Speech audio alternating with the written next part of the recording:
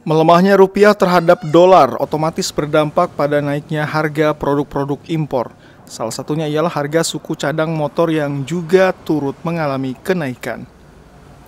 Salah satu pedagang variasi suku cadang motor Muhammad Ihsan menuturkan, kenaikan paling dirasakan sejak awal bulan September lalu. Suku cadang berjenis impor yang sering digunakan masyarakat mengalami kenaikan dari 5 sampai 10 persen.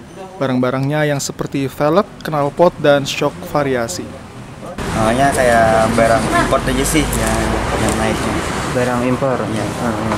Itu seperti apa barang-barangnya? Seperti pelek, sok, sok-sok variasi. Cuma alat variasi yang naik yang seperti ISS, Hmm. produk-produk yang dari luar lah. Hmm, itu sejak kapan naik? Itu sejak awal bulan ini. Awal Awal bulan ini. naik. Itu berapa banyak naiknya itu berapa persen? Ya 5 sampai 10 persen. Di toko lain, imbas dari kenaikan harga spare part motor diakui pedagang berdampak pada penurunan pendapatan, bahkan mencapai lebih dari 50 persen. Seperti yang dialami Husaini, pengaruh tersebut dirasakannya sejak beberapa bulan lalu.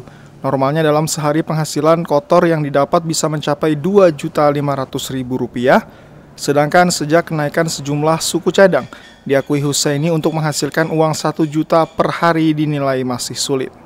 Itu sejak kapan Pak? Eh, udah berapa bulan ini udah udah berapa bulan ini Pak lah? berapa bulan Karena barang-barang spare part itu se- hampir semuanya naik Pak lah. semuanya naik Semuanya naik. sedangkan daya beli menurun Oh iya. Nah, Dari naiknya harga suku cadang motor tersebut, beberapa pedagang terpaksa ikut menaikkan harga jual kepada pembeli. Imbasnya, daya beli masyarakat menurun. Syarif Hidayat, TV Tabalong, melaporkan.